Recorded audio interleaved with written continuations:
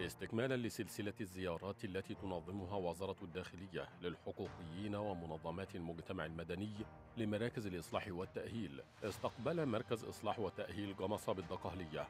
وفدا ضم رؤساء وأعضاء المجالس القومية وبعض منظمات المجتمع المدني للوقوف على المعايير الدولية المطبقة في مجال حقوق الإنسان عند تأهيل وإصلاح النزلاء.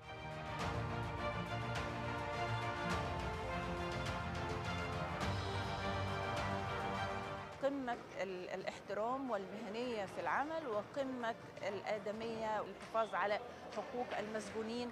جوانب عدة في التأهيل والإصلاح والرعاية اطلع عليها الوفد.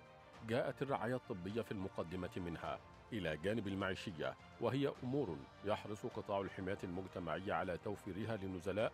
جزء الخدمات الطبية ده عشان ده شغلي أنا أكتر يعني فانا لا ملاحظ آه، حاجة ممتازة جدا. في أجهزة شفناها هنا أهوت موجودة أنا ما شفتهاش بره.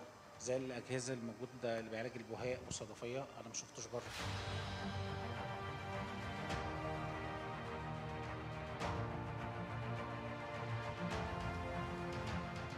شاهد الوفد كيفية إصلاح وتأهيل النزلاء بما يمكنهم من الاندماج سريعا في المجتمع عقب قضاء فترة العقوبة.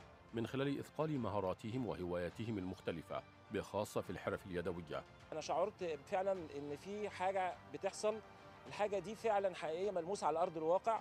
وبتقدم خدمات حقيقية وفي طفرة في التعامل هنا مع النزلاء. الخدمات اللي موجودة النهارده ما بقاش زي ما قلنا مجرد مكان للإقامة بقى مركز فيه كل حاجة في حرف يدوية في حاجات فنية في مدرسة في في مجتمع. كأنه مجتمع بداخل المجتمع بتاعنا لحد لما الإنسان يكون قادر مرة أخرى أو جاهز مرة أخرى إن هو يخرج ويكون جزء تاني من من المجتمع بره. فكر اختلف تماما من فكر العقابي إلى الفكر التأهيلي وده شيء كويس جدا.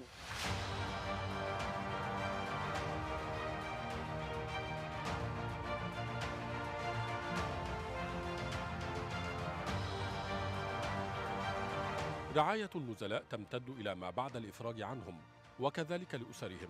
فقد نظمت إدارة شرطة الرعاية اللاحقة بقطاع الحماية المجتمعية احتفالية لتوزيع مساعدات عينية على المفرج عنهم وأسر النزلاء. استكمالا للمساندة والدعم المقدم لهم خاصة مع إتاحة الفرصة لهم لإنشاء مشاريع صغيرة تسهم في توفير دخل ثابت لهم ويؤكد على الرؤية الإصلاحية والتأهيلية التي تنتهجها وزارة الداخلية في سياستها العقابية والتي تمتد إلى توفير الرعاية للمفرج عنهم وأسر النزلاء. لما أنا كنت محبوس كانوا بيساعدوا والدي ولما أنا خرجت بقى كل شهر في مساعدة. وأنا بشكر سيادة الريس ربنا يخليه لينا يا رب.